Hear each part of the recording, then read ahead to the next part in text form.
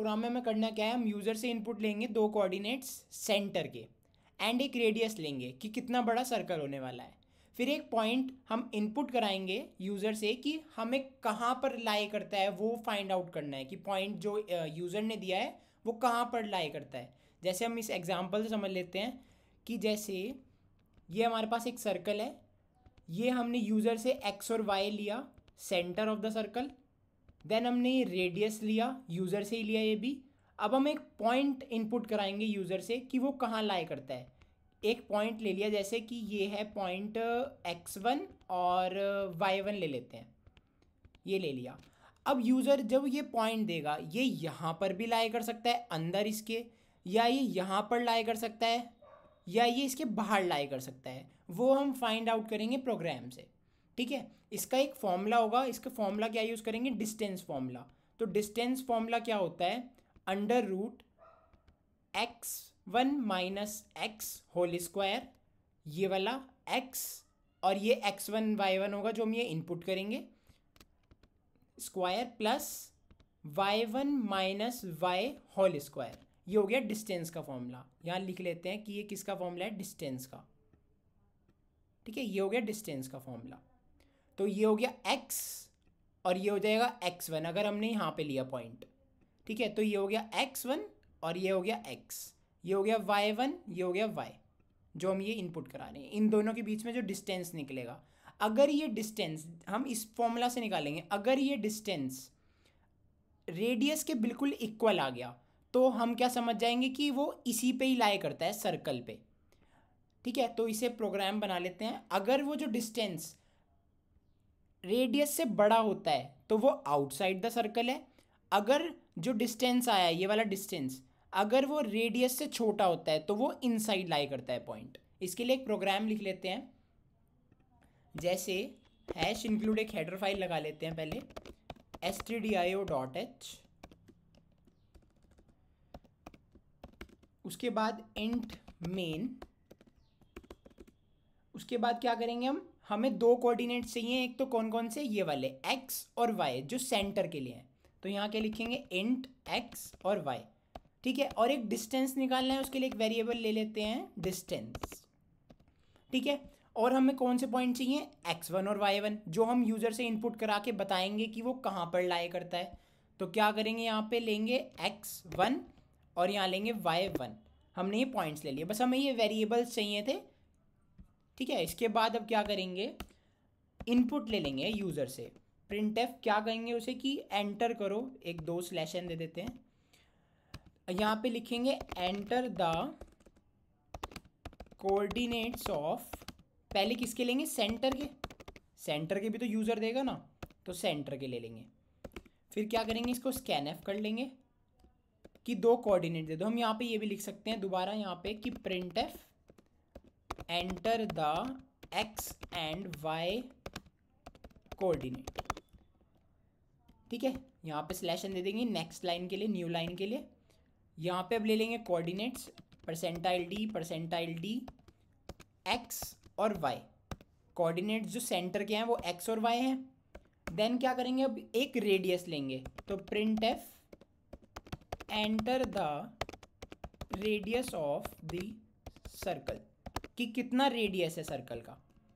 ये भी तो हमें यूज़र से ही लेंगे ना कि ये रेडियस कितना है, ये वाला।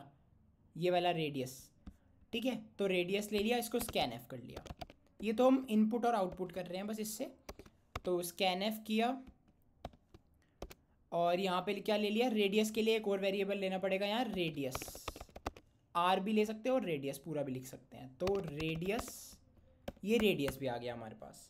अब देन हमें क्या लेना है? अब हमें पॉइंट चेक करना है। तो पॉइंट के लिए अब ये वाले इनपुट ले लेंगे बस। ये वाला इनपुट लेना है अब यूज़र से। तो यहाँ लिख देंगे प्रिंट एफ़ क्या इनपुट लेना है? वो यहाँ लिख देंगे कि enter the coordinates of point so enter the coordinate of points ये आ गया। यहाँ स्लैशन लगा देंगे और इसको स्कैन एफ़ कर लेंगे। परसेंटाइल डी परसेंटाइल डी और यहाँ पे कौन को, किस किसमें जाने हैं? एक्स वन में जाना है और वाई वन में जाना है। ये हमारे सारे पॉइंट्स आ गए अब हम क्या करेंगे? बस एक डिस्टेंस का फॉर्मूला लगा देंगे। तो डिस्टेंस का फॉर्मूला हमने यहाँ देख लिया, क्या होता है? डिस्टेंस का फॉर्मूला ये है। बस ये वाला फॉर्मूला याद होना चाहिए, सब ये वाला पूरा प्रॉब्लम हो जाएगी सॉल्व ठीक है तो डिस्टेंस का फॉर्मूला लगा लेते हैं। So distance is equals to क्या है? स्क्वायर रूट है पूरे का। तो क्या लिखेंगे यहाँ पे? एस क्यू आर टी अभी हम X Q R T use कर रहे हैं तो इसके लिए हमें एक हेडर फ़ाइल चाहिए math dot H hash include math dot H S Q R T आ गया।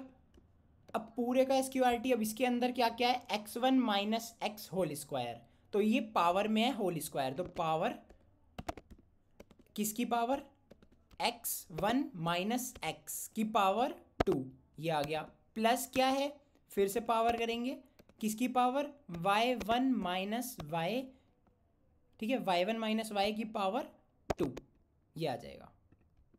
इसको ब्रैकेट में क्लोज कर लेते हैं। ठीक है, ये आ गया। ये हमारा फॉर्मूला लग गया। अब हम क्या करेंगे? अब चेक कर लेंगे बस कि इफ़ डिस्टेंस अगर डिस्टेंस ग्रेटर देन है रेडियस से तो क्या प्रिंट करना है? प्रिंट एफ़ देखो डिस्टेंस ये पूरी डिस्टेंस जो आई, अगर ये पॉइंट यहाँ लाई करता है ग्रीन ले लेता हूँ मैं। अगर ये पॉइंट यहाँ लाई करता है, और जो डिस्टेंस है वो रेडियस से बड़ी आ गई रेडियस ये है, और डिस्टेंस हमारी बड़ी आई है तो वो आउटसाइड लाई करता है। तो क्या लिख देंगे? Point lies outside the circle अगर दोनों equal I if distance is equals to is equals to radius तो क्या करेंगे? Printf point lies on the circle देखो, ये जो डिस्टेंस ये वाली जो ग्रीन वाली डिस्टेंस है, वो यहाँ तक ही आई है बस, और रेडियस भी यहीं तक है। तो क्या होगा? ये ऑन द सर्कल है। ठीक है? अब एक और कंडीशन चेक कर लेंगे लास्ट कि if distance distance is less than radius तो क्या करेंगे? पॉइंट कहाँ लाए कर रहा होगा?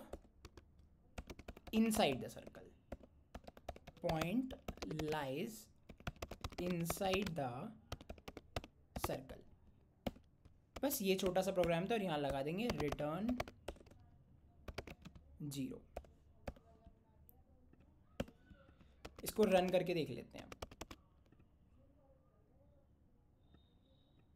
इन्होंने कहा enter the coordinates of a center तो हम दे देंगे जैसे ज़ीरो ज़ीरो दिया हमने।